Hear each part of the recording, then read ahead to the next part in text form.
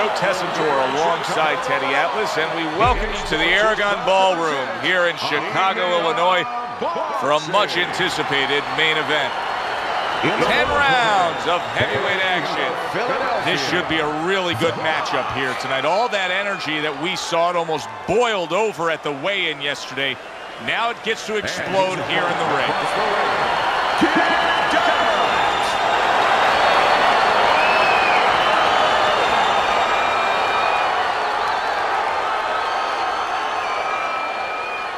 We went over the rules in the dressing room.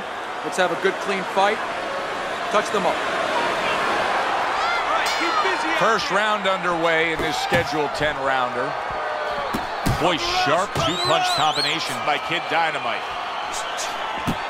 Smashing left by Kid Dynamite. Oh, he's in bad shape here. He's stunned and he's wobbly. The only thing he has going for him is He's not a fighter that uses his legs anyway, and you can't use him right now. He's a guy that likes to move his head. He's got to start doing that. Try to cement those feet down the best he can and get some head movement. Razor shot. What a big shot. Oh, and here comes the first challenge of his night. Down he goes.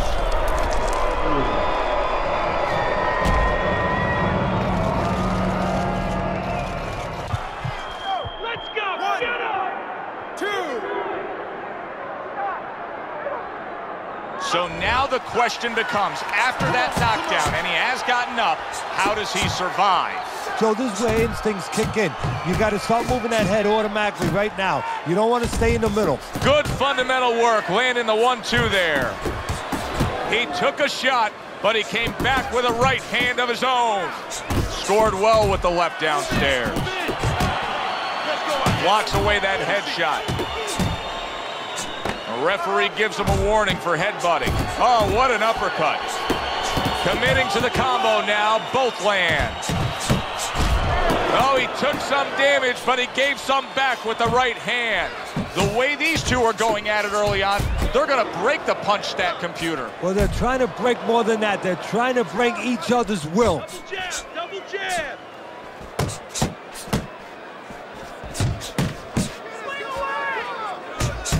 Punch right there. The uppercut worked.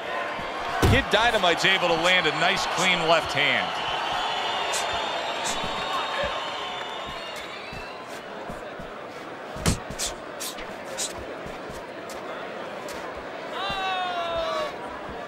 Just 10 seconds to go in this round.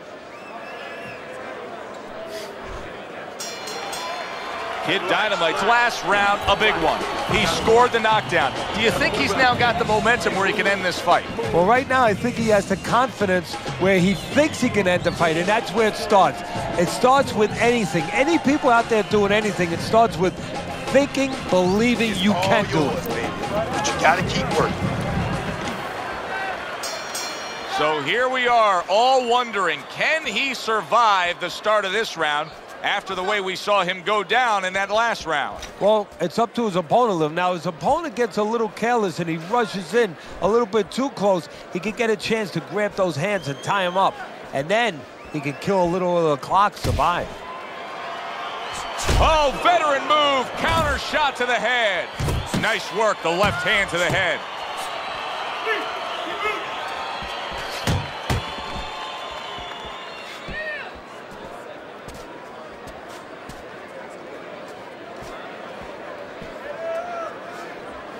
And his nose has started to bleed.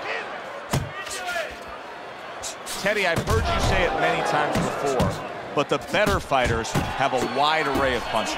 Yeah, well, you have to because obviously your opponent is going to adjust to what you're doing. You want to keep them off balance, stay effective. Kid Dynamite scoring with that right hand. Good flush shot upstairs. Teddy, I don't think he's got visions of sticking around too long. He's landing power punches early. Yeah, he wants to make it a quick nice work.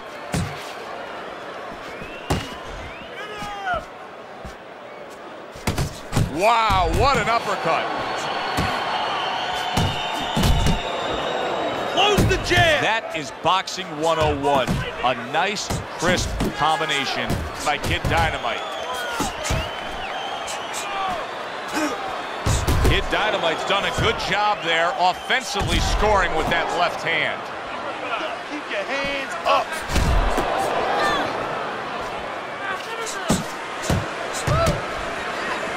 He is damaged badly there. He may hit the solid.